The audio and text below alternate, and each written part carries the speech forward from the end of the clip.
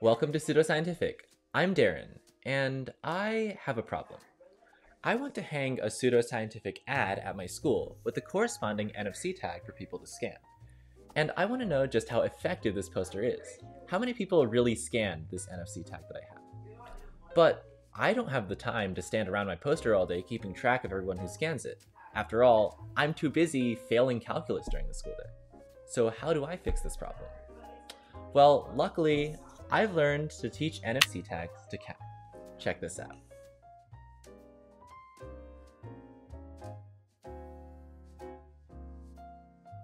Now, with just a scan of my own, you can see how many times an NFC tag's been scanned right here.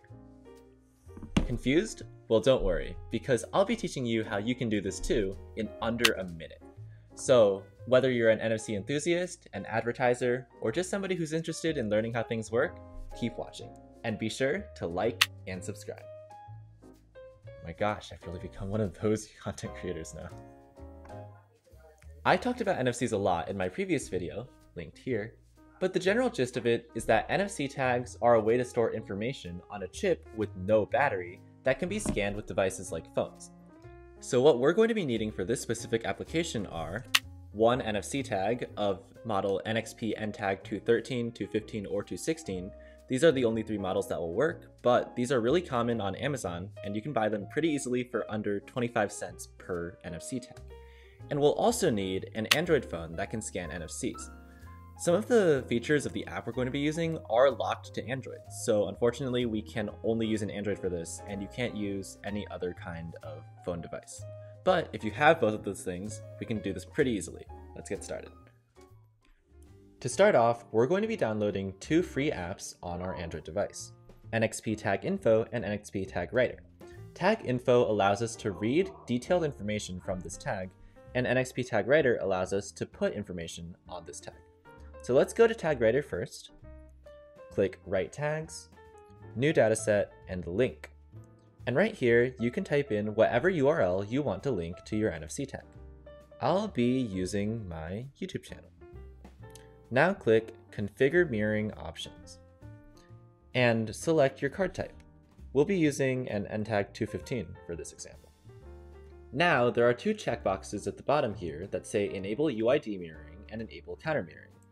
Enable UID Mirroring adds a UID to the end of your link, which is basically a manufacturer-given identifier for your specific NFC tag that'll allow you to differentiate between multiple identical NFC tags. But what we're interested in right now is the counter mirroring option, which puts a number at the end of your link that allows us to track how many times this NFC has been scanned. One important thing to note about this counter number is that it's written in hexadecimal. So instead of numbers with digits from 0 to 9, this has digits from 0 to 9 and also the letters A through F that represent 10 through 15. You might not know how to convert hexadecimal to decimal or the number system that we use, but there's a couple of websites out there that allow us to do exactly that. For example, mathisfun.com has this hexadecimal converter, where if you want to type in a hexadecimal number, for example, let's say you don't know what uh, D4 means, then you just type it in, and you instantly get a decimal representation of the number, in this case, 212. One more thing, we can enable both UID and counter mirroring, and now the number at the bottom will be split into two numbers, separated by an X. The first number is the UID, and the second number will be your counter. So now just click OK, and click Save and Write. Unclick Confirm Overwrite, click Write again, and now all you have to do is place your NFC tag near the middle of this device. Like so. And you're basically done. So now let's check out our counter in action by scanning this NFC tag. Click Tag Info, or the second app that we need to download. Scan the NFC tag, and then click NDEF.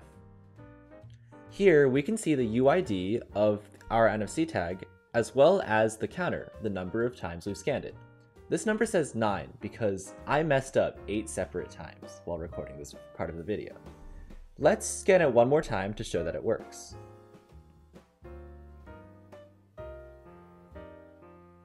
And now the number says A, or 10. in hexadecimal. That's all for this video. Thanks for watching, and please be sure to like and subscribe. Comment down below if you want to see more content like this, and be sure to share with a friend who you think this information could help. Now, if you'll excuse me, I have a poster to hang up, and school officials to evade. See you next time!